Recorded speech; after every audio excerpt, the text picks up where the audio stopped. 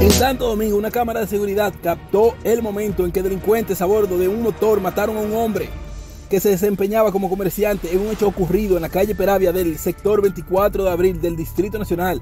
El fallecido fue identificado como Rubén Darío Martínez, quien era propietario de un taller de herrería. Martínez recibió al menos ocho tiros cuando enfrentó por la espalda a uno de los antisociales para evitar que asaltaran a su sobrino.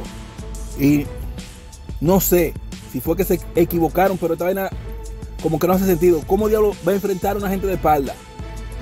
El cuerpo fue trasladado al hospital Doctor Moscoso Puello, donde aún permanece hasta agotar el procedimiento del lugar. Se desconoce hasta el momento el paradero de los responsables. Se ve ahí en el video cuando llegan en un motor Ahora que Ahora que Parecía inicialmente. Hay una jipeta roja parqueada ahí.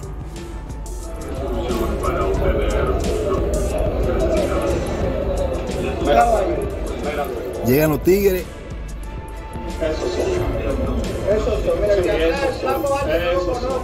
Se desmontan, le caen atrás. Se queda uno en el motor, el otro le está cayendo atrás. Salió un gato huyendo. Eso no parece ningún asalto, eso parece algún problema personal.